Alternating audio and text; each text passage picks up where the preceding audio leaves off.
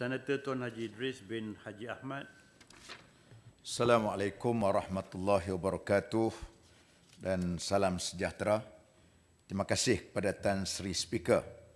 Pertamanya saya menyokong penuh pindaan rang undang-undang dengan pertambahan sebanyak 20 bilion yang diperuntukkan untuk bantuan prihatin nasional, perbelanjaan COVID-19 dan program subsidi upah dan pemberian khas prihatin.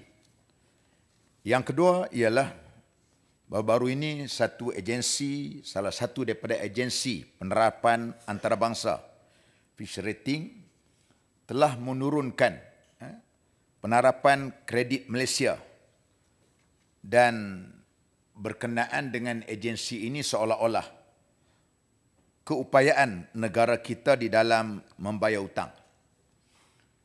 Kerana apa yang dikeluarkan oleh agensi ini secara tidak langsung akan memberikan satu imej yang buruk eh, kepada negara kita.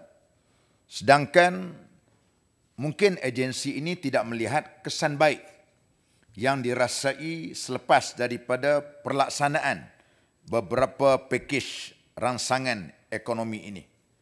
Sudah tentulah apabila kita nak membantu rakyat dengan kita menggunakan wang daripada berbagai-bagai sumber, maka sudah tentu akan meningkatkan dari segi keberhutangan kita.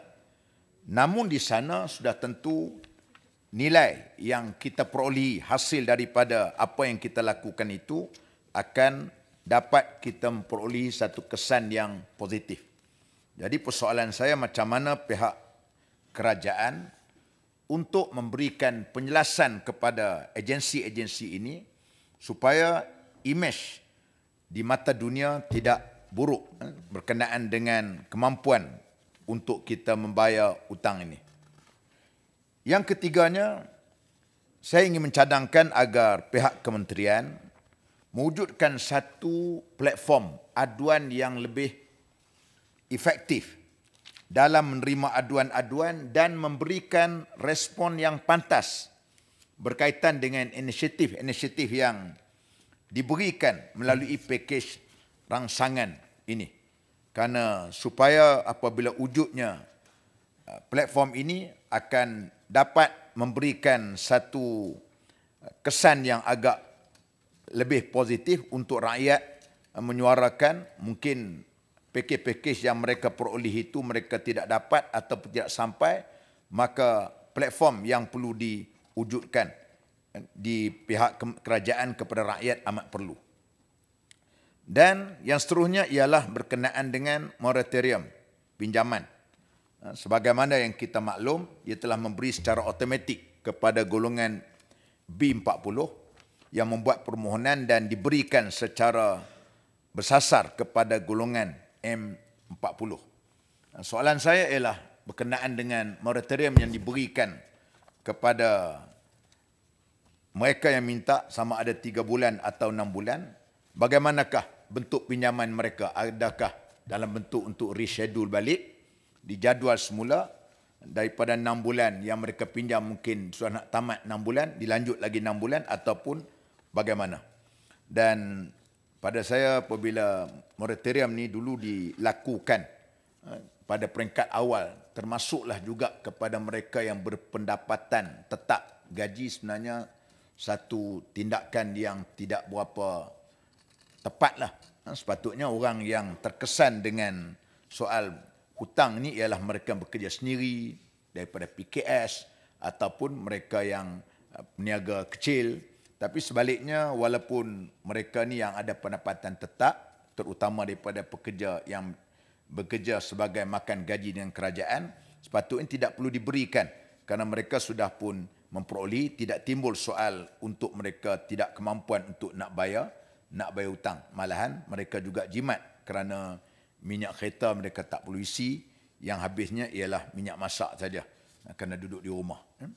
Dan akhir sekali ialah berkenaan dengan vaksin. Ha, kita ucap terima kasih kepada pihak kerajaan yang akan memberikan 70% kepada rakyat Malaysia untuk mendapatkan vaksin ini. Cumanya ada beberapa apa kumpulan hari ini yang bergerak aktif untuk anti vaksin.